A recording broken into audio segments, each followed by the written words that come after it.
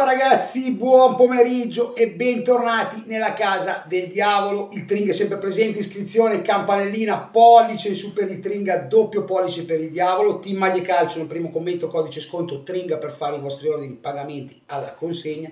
Descrizione video, il nostro amico Matteo Chiamenti, il milanista qualunque, iscrivetevi da Matteo, tutti i miei social e il gruppo Telegram. Benvenuti ai nuovi iscritti, eh, ce n'è qualcuno, abbiamo superato gli 8470, quindi benvenuti a tutti. Ringrazio sempre per la grande partecipazione in live, grazie mille a tutti anche per quello e grazie mille a tutti gli iscritti al canale per il sostegno, per i contributi e via dicendo. Allora ragazzi, questo video penso che la grafica dica tutto. Questo Milan non ci emoziona, ma voglio fare un paio di passi indietro. Nella scorsa stagione io ero stato uno degli ultimi a uh, mollare Stefano Pioli e nella scorsa stagione togliendo l'ultimo mese e mezzo che ormai i giocatori già sapevano che Pioli se ne sarebbe andato e via dicendo Uh, si era un po' mollato, uh, abbiamo visto partite uh, scadenti, abbiamo visto delle sconfitte, abbiamo visto partite giocate male, ma è un dato di fatto che il Milan di Pioli ci abbia riportato la cosa più importante per i tifosi del Milan, le emozioni, le emozioni di una semifinale di Champions, le emozioni di essere stabilmente eh, a lottare per le prime posizioni, primo fra tutti un campionato, diciannovesimo scudetto e comunque tante tante emozioni, tante tante partite che ricorderemo. Il Milan di Stefano Pioli sicuramente entra di diritto nella storia di questa squadra, di questi colori. Um, come vi dicevo, sono stato uno degli ultimi a mollare Stefano Pioli, l'ho difeso a spada tratta fino all'ultimo perché già sapevo che il sostituto di Stefano Pioli sarebbe stato un allenatore tutto da vedere, tutto da vedere, tutto da capire e via dicendo. I miei preferiti del post di Pioli, sicuramente, fra i miei preferiti del post Pioli non c'era di sicuramente Paolo Fonseca, non c'era Lopeteghi, ma c'erano allenatori che più che tattici erano dei guerrieri e lo sapete benissimo, ci sono i video che vi dicono questa cosa. Poi quando Paolo Fonseca è diventato allenatore del Milan, chiaramente il sostegno è stato al 100%. Tornando alle emozioni, tornando alle emozioni, questo Milan non ci emoziona più perché nello sport la linea che divide il vincere o il perdere è molto sottile. Chiaramente fra due squadre che si affrontano una vince e l'altra perde. Um, ma l'importante anche quando si perde è come si perde. Dal campo bisogna sempre uscire a testa alta, cosa che questa, questo Milan non può fare cosa che questo Milan non può fare. Questa squadra oggi non può presentarsi a testa alta davanti ai propri tifosi. Um, il Milan di Stefano Pioli per, un per il nuovo allenatore fare meglio del Milan di Stefano Pioli voleva dire quantomeno vincere un altro campionato dopo due anni, dopo due stagioni, Uh, due stagioni che hanno, hanno, visto il Milan emozionarci per il ritorno in Champions League, per il secondo posto della seconda stagione e per il campionato. Questo allenatore nuovo, Paolo Fonseca, sicuramente non riuscirà a raggiungere questi risultati. Quantomeno in questa stagione Paolo Fonseca um, non può, non può, non riesce, non riesce a entrare nella testa della squadra. E sicuramente le ultime partite brutte della scorsa stagione erano il chiaro, il chiaro segnale che questi giocatori erano ancora con Stefano Pioli, pur Stefano Pioli facendo, avendo fatto tanti errori Stefano Pioli, la squadra era ancora tutta con lui. E la tristezza della, eh, dopo l'addio di Pioli era evidente nei giocatori.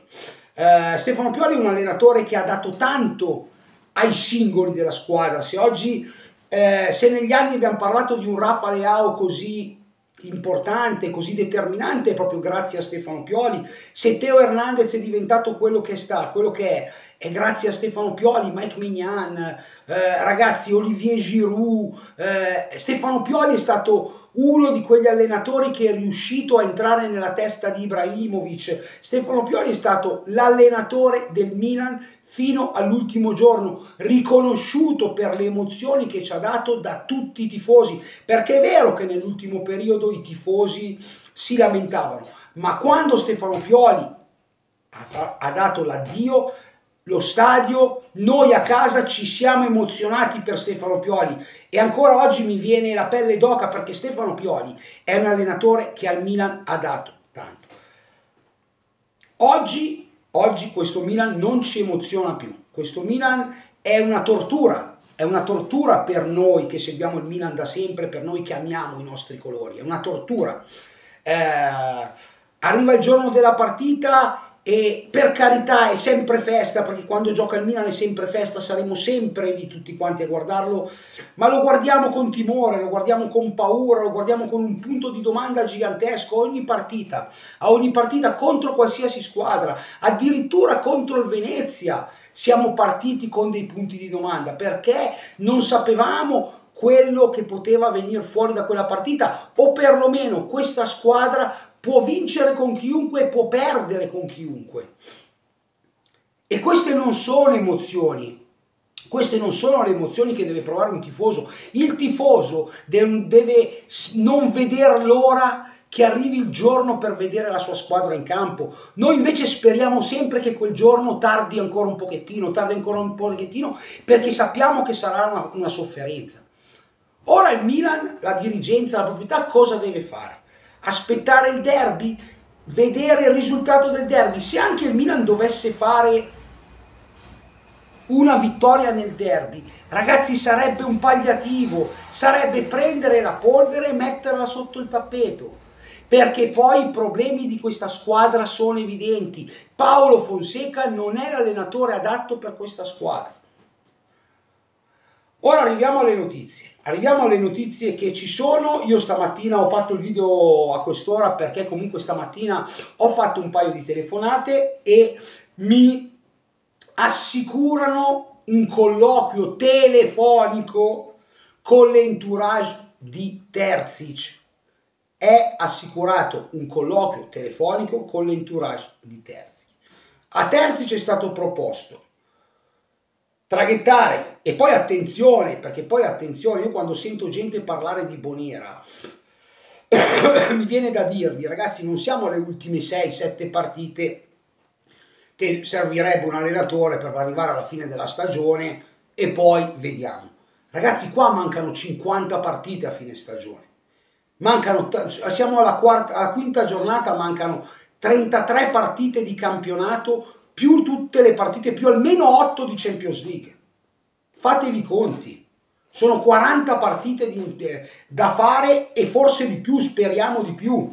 Quindi serve un allenatore, non si può pensare che possa arrivare Bonera e poi soprattutto difficilmente la società andrà a smantellare quello che si sta creando in Milan Futuro. Milan Futuro che ieri ha pareggiato, eh, la squadra di Serie C fa un po' di fatica, però Uh, era normale, era normale il salto dalla primavera alla Serie C, pro, eh, il, salto, il, salto, il salto i, dai dilettanti ai professionisti, i giocatori lo sentono ed è per quello che io vi dico, ragazzi, eh, Milan Futuro è molto importante, ma ci vuole del tempo, ci vuole del tempo, questi ragazzi non sono pronti, questi ragazzi non sono pronti e di, e di fatto la coperta è corta.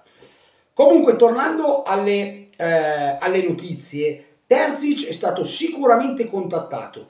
Il Milan ha proposto a Terzic eh, quest'anno più l'opzione, se fa bene, del secondo anno. Ma attenzione perché ehm, sul, sull'allenatore che potrebbe sostituire Fonseca aleggia comunque il fantasma di Maurizio Sarri. Il problema grosso è uno solo, che per Maurizio Sarri ci vorrebbe del tempo per andare a riformare la squadra e si perderebbe anche un mese, un mese e mezzo per andare a costruire quello che vuole Sarri. Sarri non è allenatore da squadra in corsa.